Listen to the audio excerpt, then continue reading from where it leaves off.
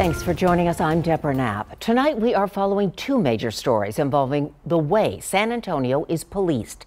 City Council is considering changes to how the police department operates. Meantime, the families of two people killed by SAPD officers are calling for their cases to be reopened. They joined protesters today. We're tired, we're fed up, and San Antonio is not the angelic city that they want to portray that it is. We are bringing you live team coverage of both of these calls for change. We'll begin with Henry Ramos, who's live outside the district attorney's office, where protesters want two cases reopened. Henry? Uh, Deborah, the past two days, protesters purposely have been right outside the district attorney's office. They want the DA, Joe Gonzalez, to hear their cries and chants. Today, families of two black men killed by San Antonio police officers joined in in the demonstrations. They not only took their march out here, but also to the Bexar County Jail.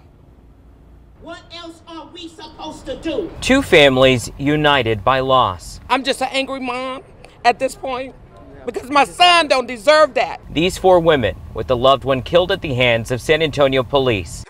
18-year-old Charles Chop Roundtree shot and killed in October 2018. The unarmed teen died after an SAPD officer opened fire. Police say Roundtree was not the intended target, his adoptive and biological mothers. We're going to keep yelling. We're going to keep making noise.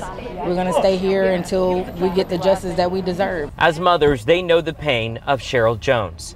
My son didn't do anything wrong. The wrongest thing he did was ran.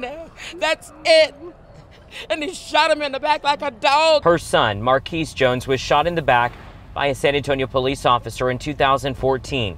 Jones was running from the scene of a fender bender at a restaurant. I just want them to do what's right by Charles and Marquise.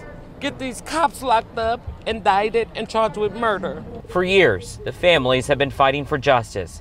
The officers in these cases were never charged for any wrongdoing. Their outcries once again hurting the streets of San Antonio. Protesters in day 12 demanding the district attorney to reopen their cases. Daryl Washington represents these families. He says there were flaws in each of these investigations and says there is new evidence a grand jury should hear. The families beg for the DA to listen.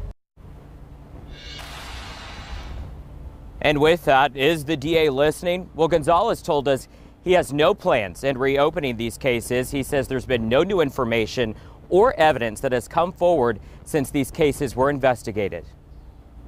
You can't do it because people are angry. You have to do it based on whether or not the facts support that somebody broke the law. Gonzalez says these cases have been reviewed many times. He says, How many times are you going to go to the grand jury? Meanwhile, that answer, not enough for these families and protesters who say they will continue to demand for justice.